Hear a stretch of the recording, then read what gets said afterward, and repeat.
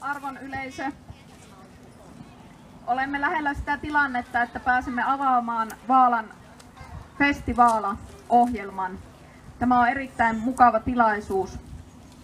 Hieman tähän alkuun haluan kertoa siitä, että mistä tällainen ajatus on lähtenyt Aarreviikkoon.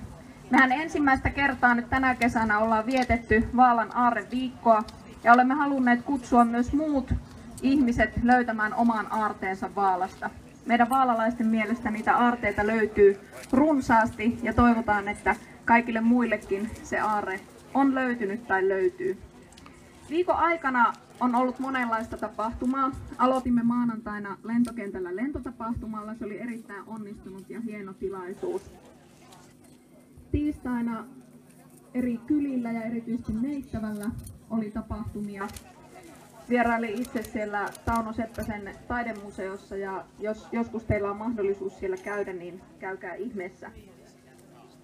Pelson Lohilammella on ollut kalastuskilpailuja, kesäteatteri on esittänyt omaa ohjelmaansa ja totta kai meidän lukuisat kirpputorit ovat olleet auki. Ja tänä päivänä ja tänä viikonloppuna on mahdollisuus ostoksiin. Tätä koko Aareviikkoa on suunnitellut iso joukko ihmisiä.